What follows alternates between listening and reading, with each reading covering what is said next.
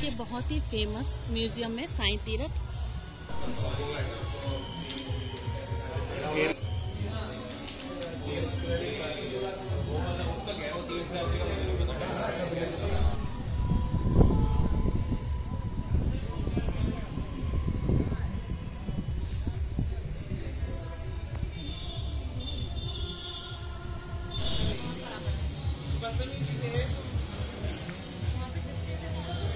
तो है।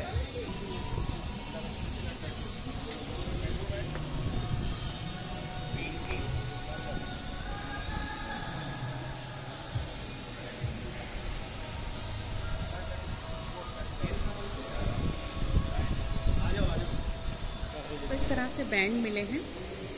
ये टिकट है हमारा एक तरह का।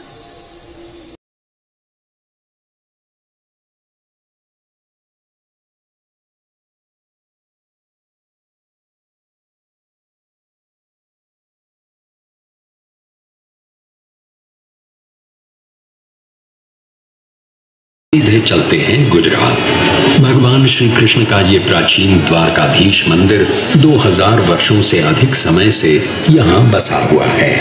मान्यता ये है कि द्वारका नगरी में भगवान श्री कृष्ण का निवास ठीक इसी स्थान पर हुआ करता था।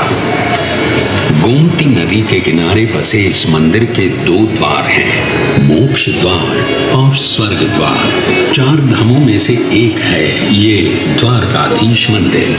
हर साल यहाँ कृष्ण जन्म का उत्सव बड़े धूमधाम से मनाया जाता है।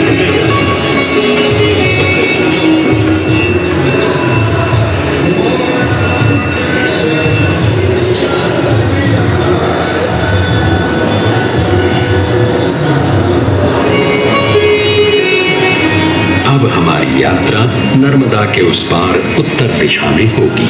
हम वाराणसी नगरी से होते हुए दर्शन करने जाएँगे चार धामों में से एक और धाम, श्री केदारनाथ जी के।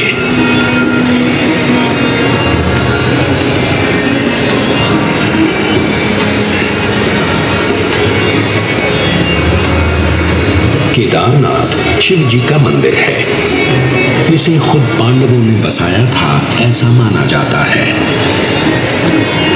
जो मंदिर है, उसकी रचना 1200 साल पुरानी है।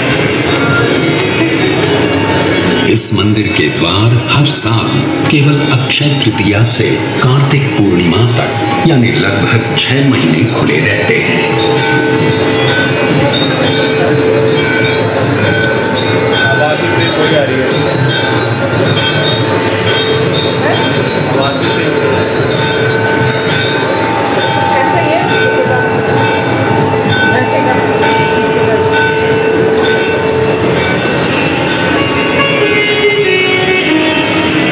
हिमालय के गढ़वाल क्षेत्र की पहाड़ियों में बसा बद्रीनाथ जी का मंदिर भी लगभग तीन हज़ार वर्ष पुराना है।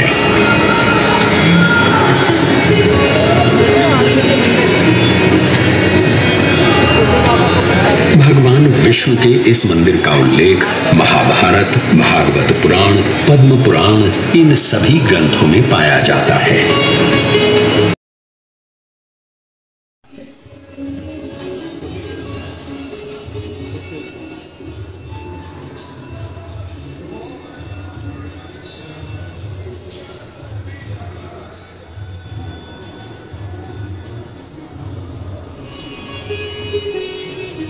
अब हमारी यात्रा नर्मदा के उस पार उत्तर दिशा में होगी। हम वाराणसी नगरी से होते हुए दर्शन करने जाएँगे चार धामों में से एक और धाम, श्री केदारनाथ जी के।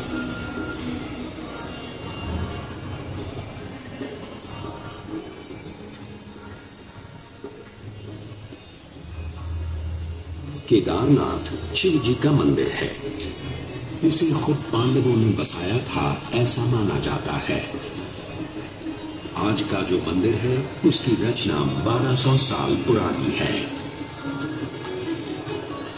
इस मंदिर के द्वार हर साल केवल अक्षय तृतीया से कार्तिक पूर्णिमा तक यानी लगभग छह महीने खुले रहते हैं। ओम नमः शिवाय। आवाज़ भी सेम वही आ रही है।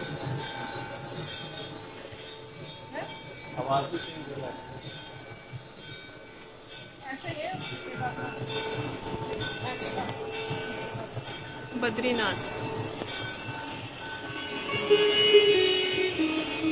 हिमालय के गढ़वाल क्षेत्र की पहाड़ियों में बसा बद्रीनाथ जी का मंदिर भी लगभग तीन हज़ार वर्ष पुराना है।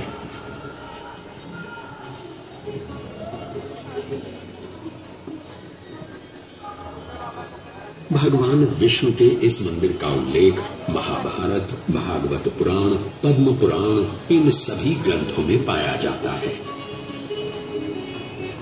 तो आइए दर्शन करते हैं श्री बद्रीनाथ जी के